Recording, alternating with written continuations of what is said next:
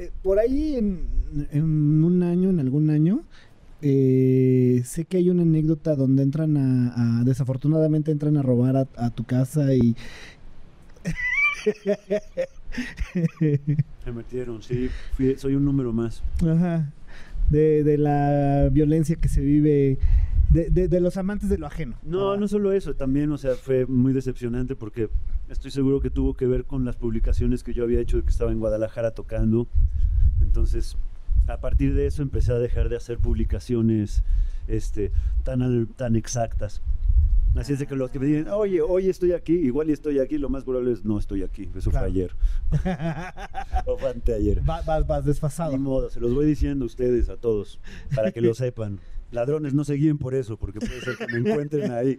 No, el pedo es de que se metieron y pues yo había dejado, yo siempre tengo, al tener dos proyectos, pues tengo un estuche armado como para la guerra con, con el afinado, los pedales, los cables, todo el pedo en un estuche muy cabrón, con un bajo muy cabrón que lleva, todos mis bajos llevan muchos años conmigo. Y tengo uno que me llevo y el otro que se queda esperando. Llego y hago cambio de Guadalajara y tenía otro toquín con estrambóticos y ya estaba armado. Y pues ese segundo fue el que se llevaron. Y me dolió así de, ah, todavía lo sigo esperando y buscando. Me lo voy a encontrar. Y, y lo voy a recuperar. Oye, que imagínate, imagínate que te lo encuentres así en Se lo quito, me vale madre que lo haya comprado, yo se lo quito, le muestro el número de serie, le digo, si la armas de pedo te traigo una patrulla, a mí me vale madre. A mí me vale madre.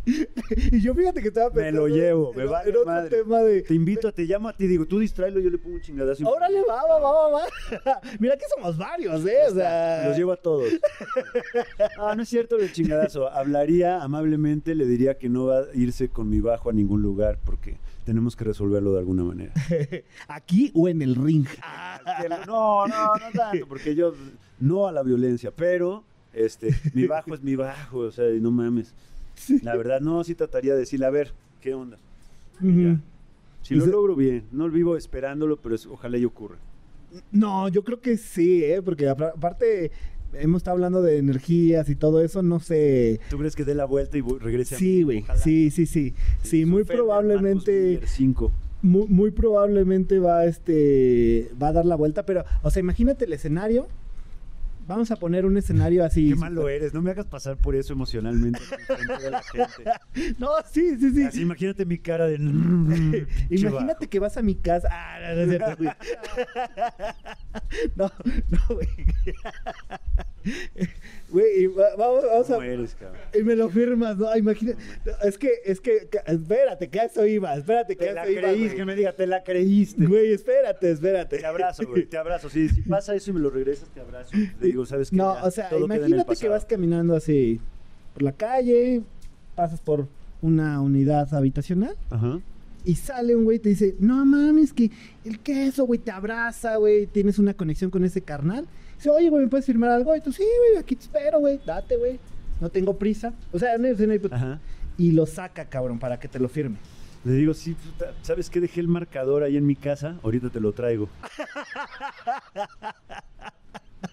Así, así, así, directo. Y ya después le pregunté, oye, ¿dónde conseguiste un bajo tan bonito con el mismo número de serie del mío que me mandaron? Cabrón. A mí lo que, lo que me llamaría la atención sí es justo preguntarle la historia de cómo llegó a ti, güey, ¿no?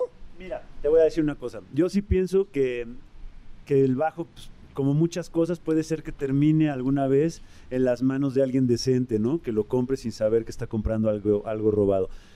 Tristemente pienso que el que se lo llevó, este, no sabe ni qué chingado se llevó, entonces probablemente pues, lo malvendió o cualquier cosa, entonces no, no, ya no le doy tanta importancia a eso. Pero es un bajo que me había dado este Fender cuando empecé a trabajar este, a- a, eh, como en relación con la marca.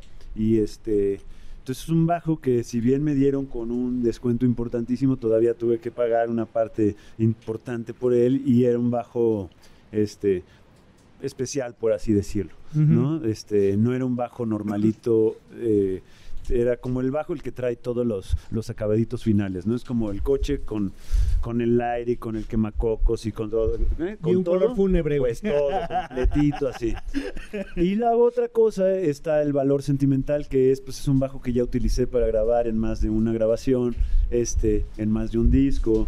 En los conciertos de despedida de mi hermano Tavo. O sea, son cosas como que dices, puta, veo las fotos, me veo en las fotos con el bass y lo extraño. Por otro lado, digo, no mames, pues me fui, me compré otro bajo y, y sigo teniendo los siete bajos con los que yo con los que me siento a gusto. Ujú. Ese es el número y no cambia mucho. Tengo siete bajos, siete guitarras y después algunas rarezas por aquí y por allá.